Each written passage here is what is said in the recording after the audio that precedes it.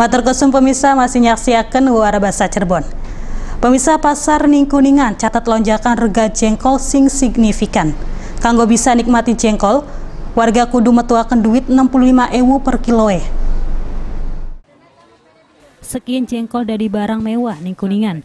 Ning Dina Senen, jengkol nembus angka 65 ewu rupiah per kiloe. Jare wong dagang eceran ning pasar kepu, Belakangan mereka cuma mampu menyediakan 10 kilo tiap dinai.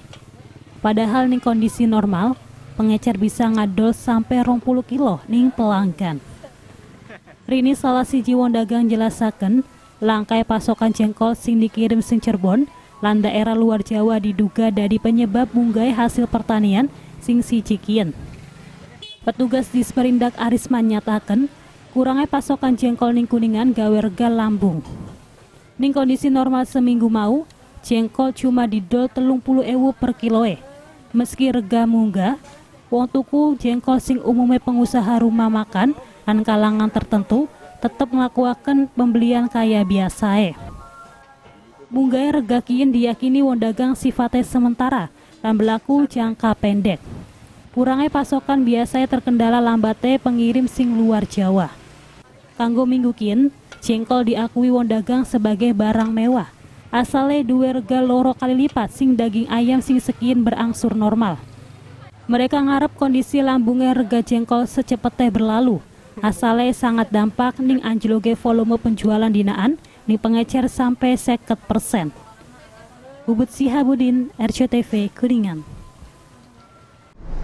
Pemirsa sing awit monitoring munggah rega komoditas, petugas gabungan ning pos penegakan disiplin pasar kepuh. Dilanjutakan bari kegiatan rutin sosialisasi wajib nggo masker ning lingkungan pasar. Petugas gabungan sing pos penegakan disiplin COVID-19 ngelakuakan monitoring kepatuhan warga ning nggo masker.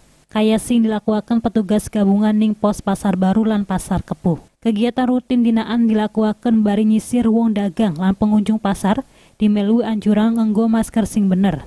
Ning tiap pos sing tersebar ning KB Pusat Keramaian Kien, petugas gabungan sing Polres Kodim 0615 Sapol PP Giliran ngelakukan patroli ngenggo masker.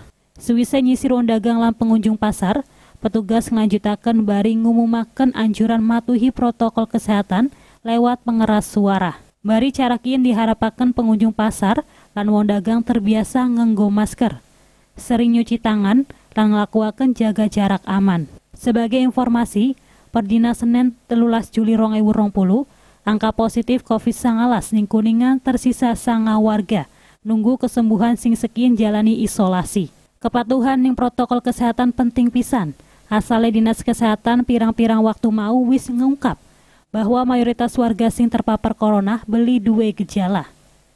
Bubut Sihabudin, RCTV Kuningan.